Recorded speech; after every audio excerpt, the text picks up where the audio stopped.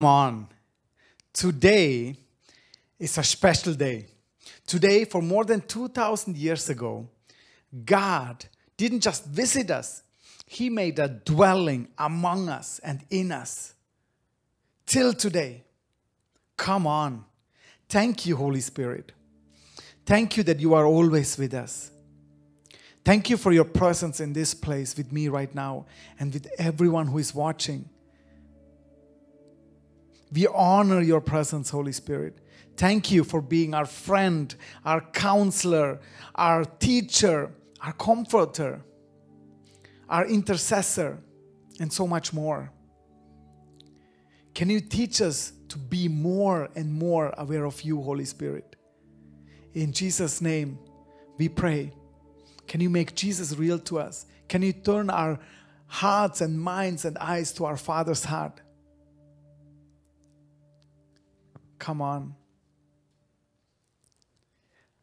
On that day, on the day of Pentecost, Holy Spirit came in form of tongues of fire and rested on the disciples. And bam! Revival took place. Wonders, miracles, and signs.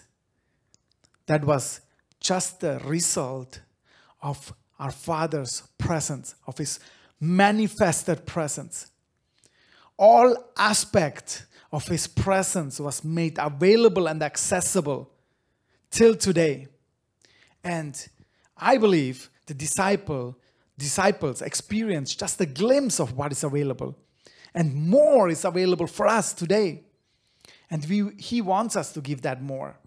And it starts with an invitation. It starts with what Jesus did on the cross for me and you.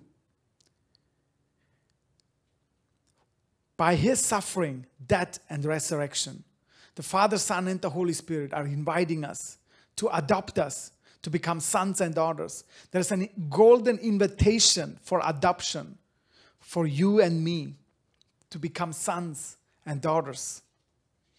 That's a free gift which you can respond with a yes in your heart.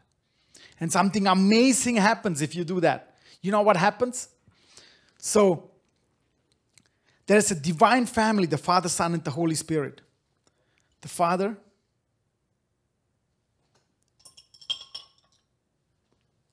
And as we say yes to Jesus, Holy Spirit positions us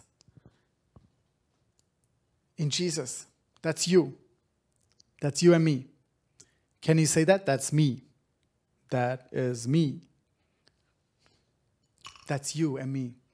And when we accept Jesus into our life, we are in Jesus and Jesus is in us. And Holy Spirit Holy Spirit leads us to heavenly places. Right now, we are seated in heavenly places in Jesus through the Holy Spirit. And we can have communion. We can come in union with our Father. We can have communion with the Father, Son, and the Holy Spirit. Come on, isn't that amazing? And it just starts with the yes. How are you responding to this invitation? You find only fulfillment in Him. Maybe you think, I'm not worthy of this. Maybe you are addicted. You are a mess up. You messed up. You backslided, backslided.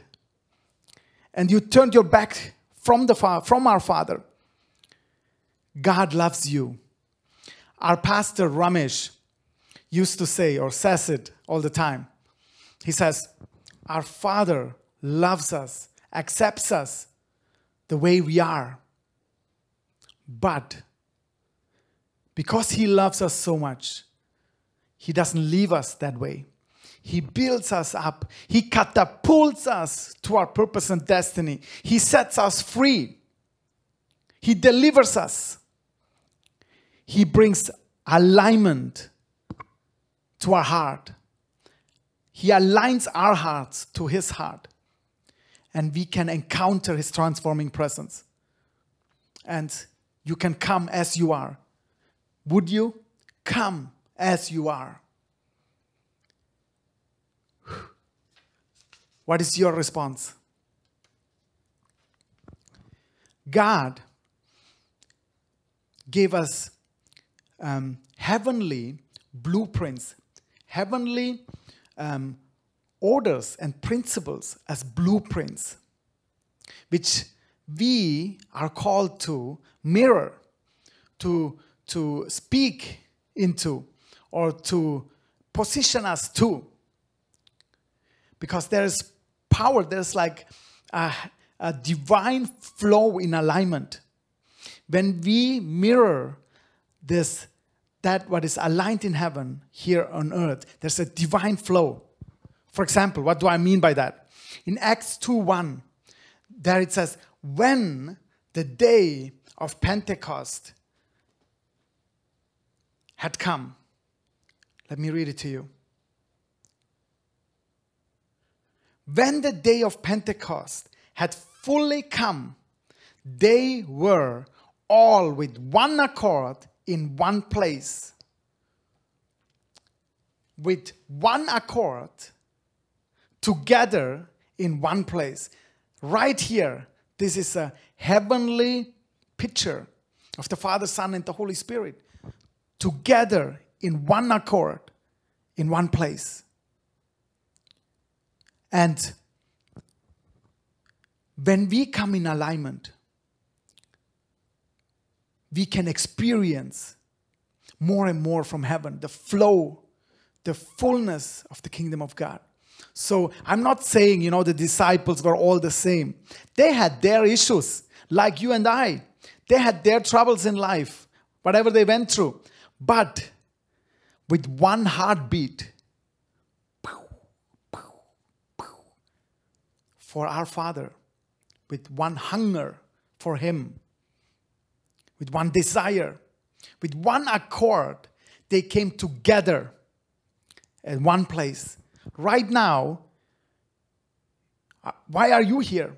We are together in one place, even when we are in different houses, through social, through the screens. Spiritually, we are coming together in one accord, and our Father wants to align our hearts, wants to wants us to um, forgive, like aligning our hearts with Him. When that happens, our hearts automatically is challenged to forgive our brothers and sisters, to let go of bitterness. Allow the Holy Spirit to work on your heart. Um, I would like to share my testimony of how I encountered God. Growing up as a child, I was uh, very, I grew up in the church. So I was one of the oldest in the church, and um, everyone loved me. I was very good in school. I loved the Bible, and they saw that. I used to climb the tree and uh, read the Bible's, Bible for hours. And um, when I was 16, started when I was 16, guest speaker would come and would always prophesy over me. Whenever someone comes, they prophesy over me some stuff is what I'm doing right now in these days. And they would prophesy and say this and that, and that would build up my pride, and other people would just lift me up. And everyone would, would say to their children, Hey, look at Kajan. Learn like Kajan. Do this like Kajan. He's a good guy. But then, I, because of some stuff that happened, I started to backslide. I went into different things. It ended up, people who said, become like Kajan, told their children, don't hang around Kajan. If I see you with Kajan, that's it. Some of them said, you belong into a jail. Because of the things I did, I lied. I had a double life. Some of the leaders of the church knew it, uh, and the believers, they knew about it. And they couldn't trust me anymore. And I understand that. But I felt so unloved. I felt no one loves me. And I, I wanted to quit some stuff that um, I had, I wanted to get rid of. I couldn't. So I thought, man, this life is not worth it. I couldn't see any future for me. So I wanted to end my life so many times. It didn't work out. So, but an encounter with God changed my life. And that's another story for another day. Then I got married, um, had children, and we settled down. I got my job back. We had a good life, my wife and my kids and I. But then in 2013, I went to a conference. And at that conference, it was in August 12th, on, the, on August 12th, 2013. Guest, guest speaker came, a prophet. And um, normally, what he would do is, it was like a four day conference. Normally, what he does is he preaches and then prays for the people. But that day, I, I think it was the second day, he um, preached and then led the congregation into worship and pointed at me and said, Come with me. And we went out, we went for a walk, and he started to say, uh, God is calling you out of this country. And I thought for myself, God, if you want me to move anywhere, you tell me. And I was just thinking that.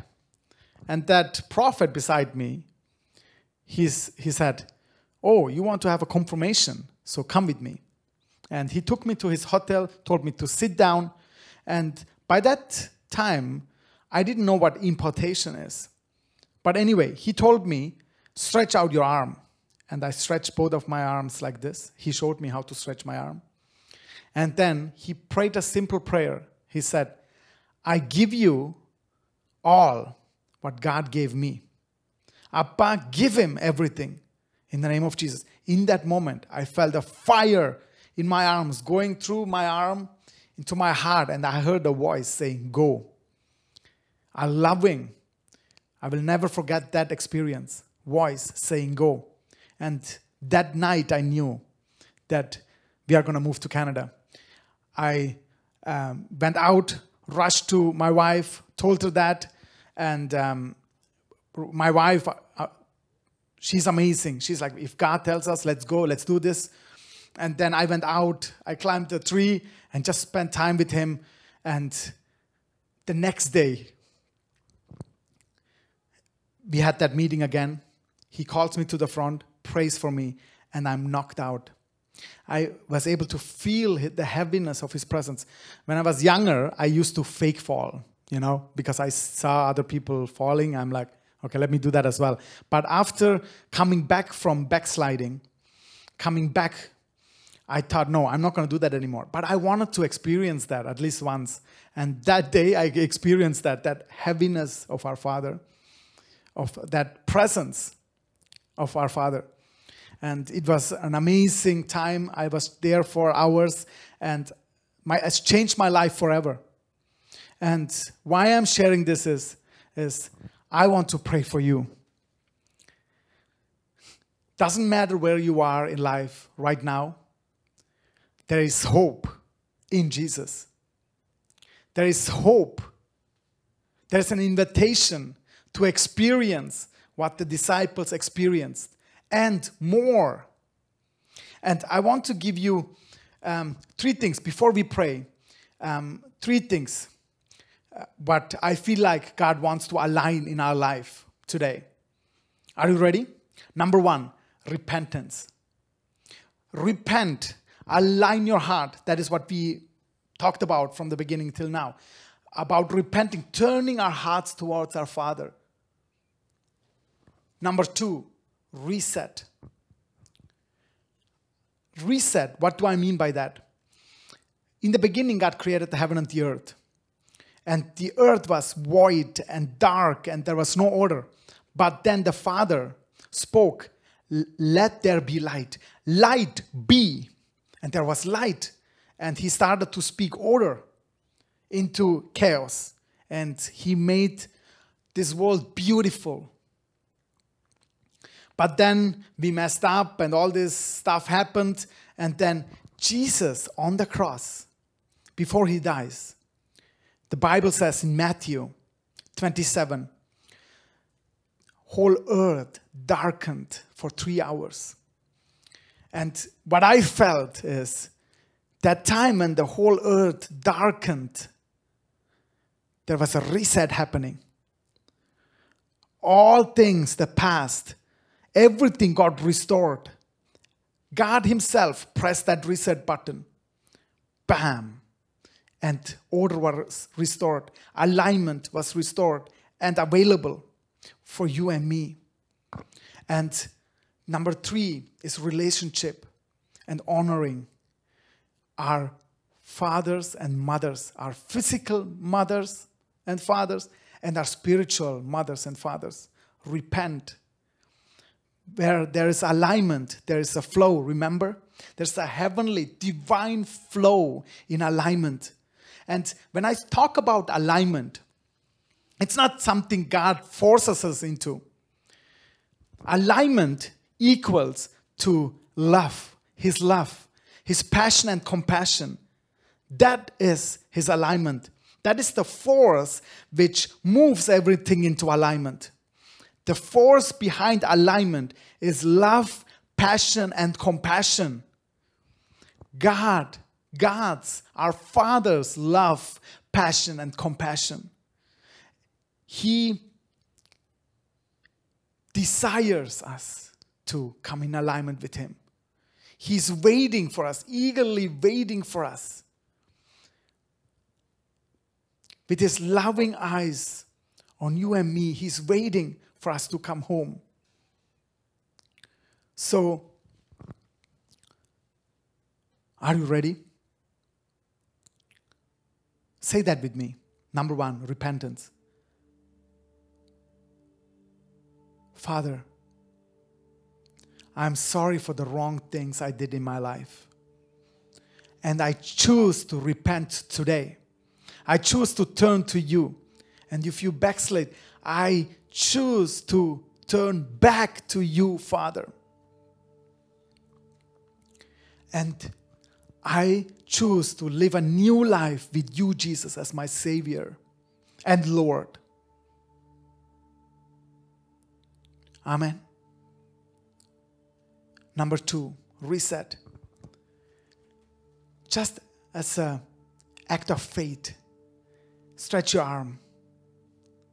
If you want to have a reset, if you want to experience the reset of God for us, just as a faith of action, action faith, an act of faith, stretch your arm and let's say yes, Appa, yes, Father we say yes to that and make a press movement.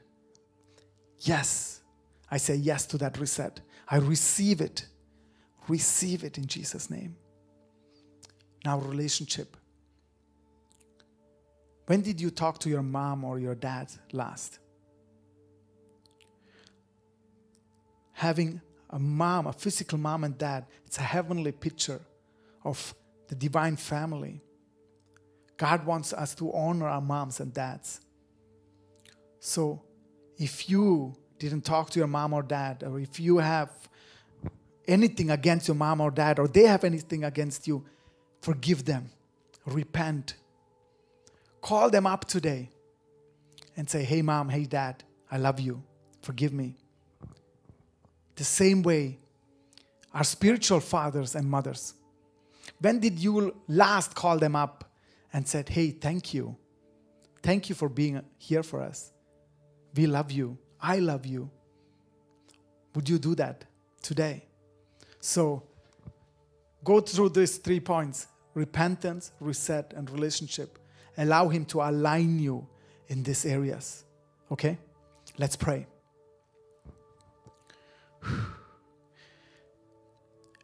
Again, just as an act of faith, can you stretch your arm and receive?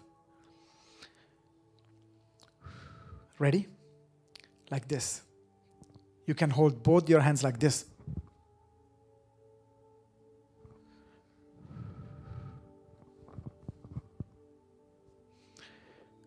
Appa, I give everything what you imparted into me to this person right now, to your son and your daughter right now in Jesus' name. I release everything what you gave me to them. In Jesus' name. Fill them up, Holy Spirit. A fresh baptism of the Holy Spirit and fire in Jesus' name.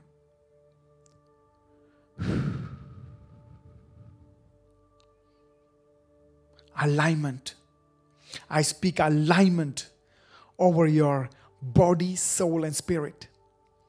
Body, soul come into alignment to the spirit in the name of Jesus. If you are sick, I speak alignment to your body in the name of Jesus. Alignment. Every pain, leave this body right now. If it's cancer, cancer, we rebuke you and we speak alignment in the name of Jesus. Everything come to the order how our Father in heaven created this body to be in Jesus' name. Thank you, Appa. Receive. Holy Spirit, teach us, show us, help us to love, to be passionate, and to have compassion. And we ask for more. We do ask for more. We want more of you. In Jesus' name.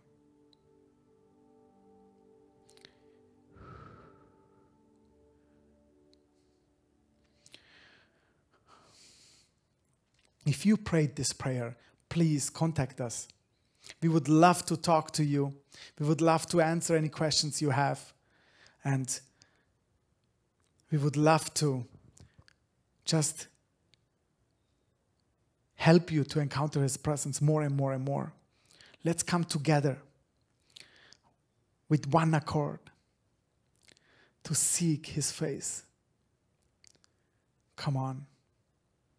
So, right after this, we are um, we, are going to have our Zoom get together. So feel free to join in, and we are going to talk about what we just talked, and just to hang around together. So bless you, bless you, bless you in Jesus' name. Amen. Are you wondering what it means to be a follower of Jesus? We would love to explore that question.